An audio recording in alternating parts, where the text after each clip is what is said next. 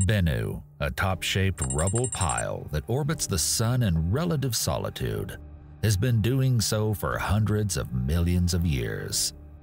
The asteroid, which is approximately a third of a mile across at its equator, is not a direct threat to Earth. However, there is a slight risk that Bennu will collide with Earth hundreds of years from now.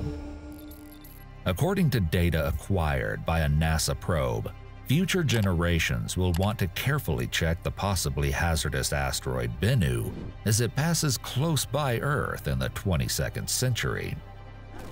To better understand Bennu's projected course through the inner solar system, researchers analyzed data from the OSIRIS-REx mission, which spent over two years orbiting, studying, and even sampling it.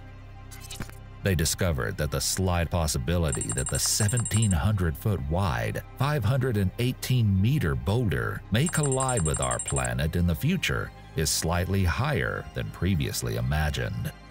However, it's still nothing to be concerned about. The odds of Bennu striking Earth have risen from 1 in 2,700 to 1 in 1,750 over the next 200 years. Nearly all Bennu's most dangerous encounters will take place in the late 2100s and early 2200s. Mark the date, September 24, 2182.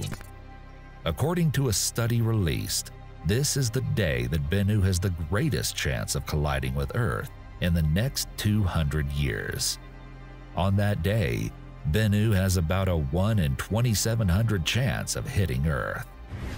NASA's Center for Near-Earth Object Studies, Davide Farnocchia, highlighted that the possibilities of Bennu colliding with Earth in the next century are slim, adding, We shouldn't be too worried about it.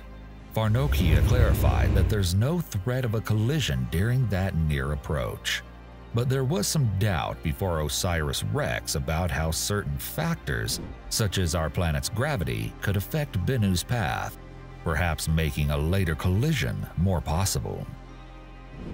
The researchers used the OSIRIS-REx's data to investigate everything from the spacecraft's potential influence. Models show it did not alter the asteroid's path, to the little force that the sun's heat may exert on a small body, known as the Yarkovsky effect. As sunlight heats Bennu's surface, the asteroid's surface re-emits energy as it cools. Because Bennu rotates, the asteroid is subjected to a modest force. The Yarkovsky effect alters Bennu's orbit over time, and Farnocchia's team can now provide an exact approximation. Farnocchia stated in a NASA press conference on August 11th that this force is equivalent to the weight of three grapes on Earth, which is enough to cause Bennu to drift by 934 feet every year. OSIRIS-REx, NASA's first and humanity's third attempt to sample the surface of an asteroid, arrived at Bennu in late 2018. The spacecraft, which snagged a dusty, pebbly sample in October 2020, is now returning to Earth to deposit the valuable substance. But before grabbing its sample, OSIRIS-REx orbited Bennu for nearly two years, analyzing the rubble-strewn asteroid. It is expected to deliver samples from the asteroid in 2023. Bennu will pass close to Earth in 2135, but scientists believe it will not pose a threat to Earth at that time. It will approach Earth's surface within 123,000 miles, give or take 6,000 miles, a significantly more exact range than prior estimates. Even though this discovery eliminates many previously detected keyholes, certain keyholes and potential collision paths remain within the orbit's margin of error. From there, the team was able to modify their collision risk estimates for Bennu. The asteroid itself, or even OSIRIS-REx's data, aren't the source of the asteroid's persisting doubt about its future trajectory. It's from the rest of the solar system. Scientists need to know Bennu's exact trajectory during that encounter in order to anticipate how Earth's gravity may change its orbit around the Sun, thus increasing the chance of a future collision. Humanity also has more than a century to continue monitoring Bennu's threat to Earth, and, if necessary, to moderate that threat. Space organizations are already putting the processes and technologies in place to deal with an asteroid danger.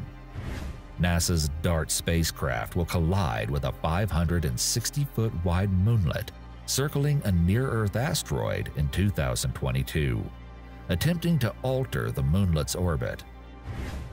Suppose an asteroid collision threatens humanity in the future.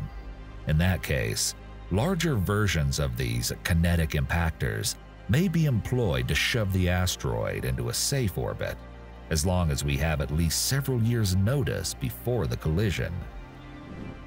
NASA's discoveries, which were published in the journal Icarus, should aid in tracking other asteroids and offer Earth a better fighting chance if and when another potentially hazardous space rock approaches. If you like this video, please consider subscribing and click the notification bell so you do not miss any upcoming videos.